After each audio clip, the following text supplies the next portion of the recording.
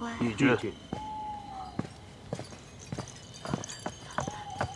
二哥见到太子殿下了吗？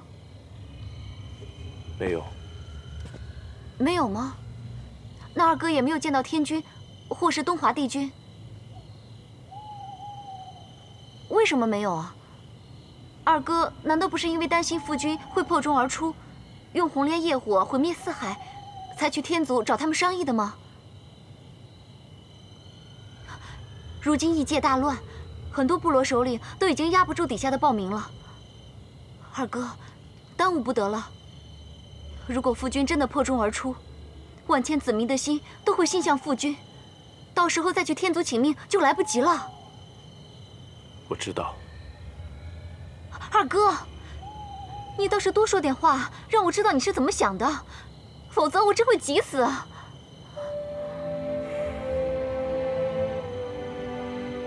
胭脂，你知道吗？阿英和太子殿下就要完婚了，他们早就有婚约在身，这又事关着天族和青丘的联姻，这将是四海之内最盛大的婚礼。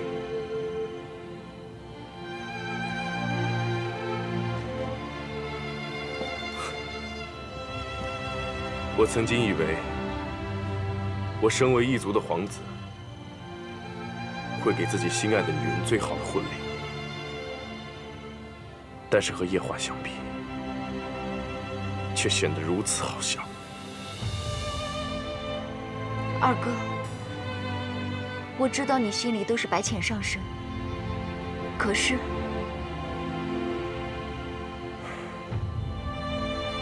如今墨渊上神也已经元神归位了，他赢在昆仑虚。一定欢喜疯了。墨渊上神元神归位了。那好，二哥，我们就去告诉墨渊上神，我们兄妹二人的命是父君增进功力的法宝。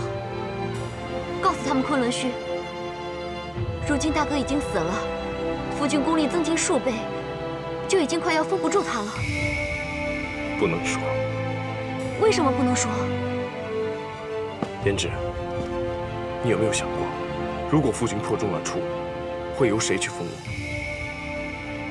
自然是墨渊上神呢。东皇钟是墨渊所造，早在七万年前就已经封印成功过一次，这回理所当然也是他。你再好好想想，如果阿英知道墨渊要去封印，他会任由自己的师傅再一次魂飞魄散吗？到那个时候。他一定会拼了命的保护他师傅。眼看他就要完婚了，我不想他在这个时候出事。可是，我身为义军七万年，却从未为子民、为异界谋过福，终日游荡在人间。寻找司音的下落，直到今时今日。倘若我再不做些什么，就真是个昏庸无能的废物了。二哥，你你在说什么？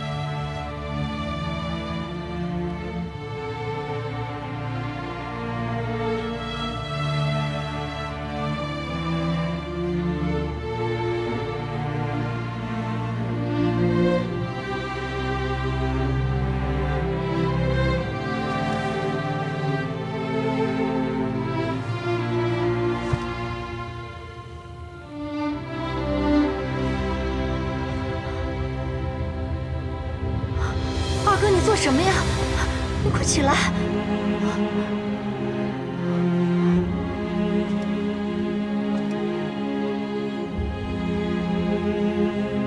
胭脂，二哥的孩子就托付给你了。大紫明宫也很快就剩下你一个皇族，就连义剑，我今日也一并托付给你。二哥你要做什么呀？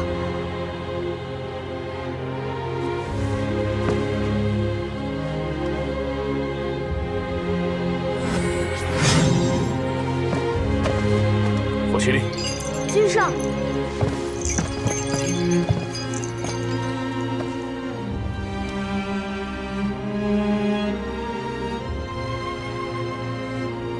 把公主带去极寒之地关押东皇钟的事情没有结束，就不能把她放出来。不，我不能离开君上。听话。我不能。是不是连你都不想认我这个君上了？不，不是的。你自幼和我一起长大，除了母妃，你就是我最亲近的人。我只有把孩子和胭脂交到你手里，我才能放心。你懂吗？君上。我可不可以把公主送回去后，再回来找你啊？不可以！我要你在我死后，帮助胭脂成为新一人一君。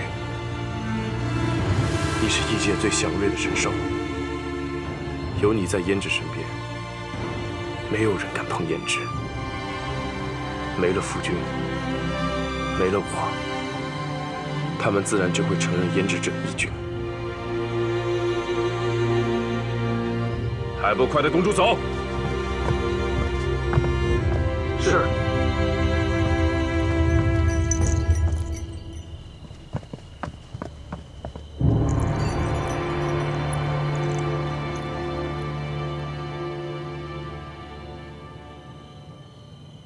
君上，走。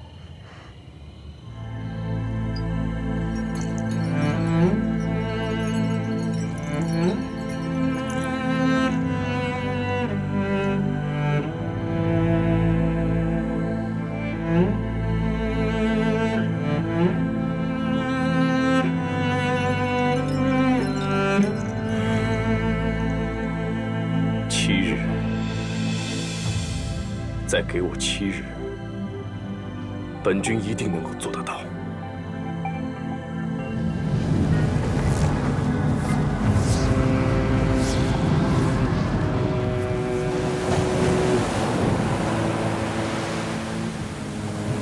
这几日洛水河巨浪翻滚，也不知是何原因。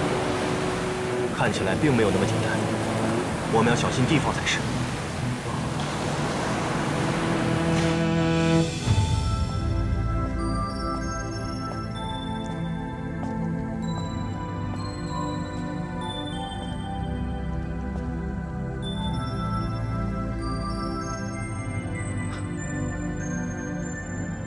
又有客来朝拜。嗯，天天茶。哲言，你不要闹了，我想睡一会儿，昨天都没有休息好。嗯，我来寻你是为了正事。嗯，你来昆仑虚能有什么正事啊？墨渊他已经定下闭关的日子。就在七日后，我要为他炼些丹药，让他闭关时带进山洞里配着疗养。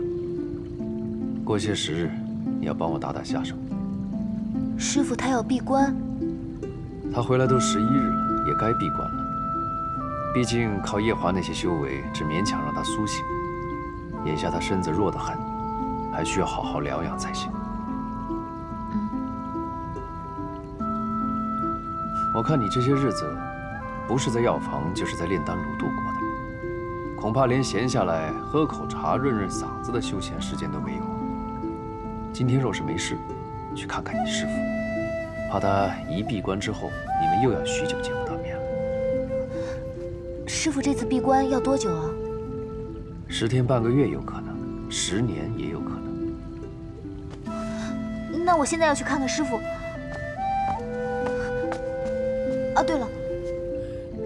师傅最喜欢桃花了，我要去后山折一些桃花，把师傅房中的桃花都换了。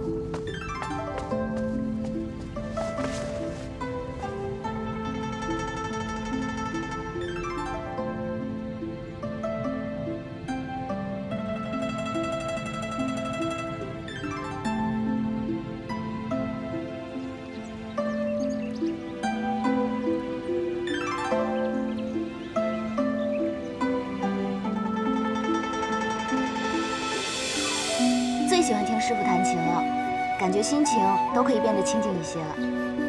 是不是多听师傅弹琴，就可以早日飞升上仙了？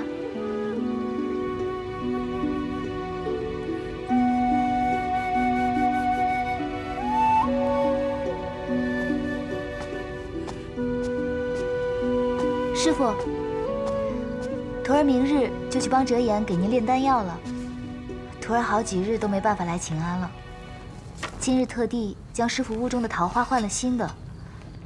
这桃花一日不换便不好了，我已经嘱咐十六师兄了，之后日日为您换新的。你今夜过来，为的只是这桩事。师傅，自打您回了昆仑虚以后，日日都在忙，都没有好好跟您说说话。而且我听哲言说，您之后又要闭关了，可能是十天半个月，也可能是数年。所以我就想来见见师傅。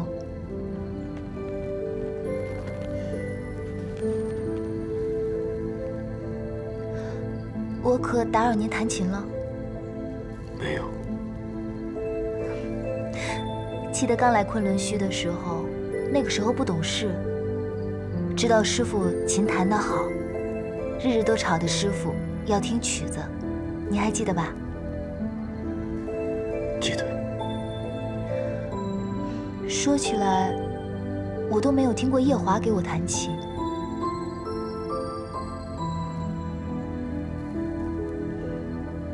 夜华对你可好？他待我的好，跟师傅待我的好不一样。总之也是十足的真心。那便好。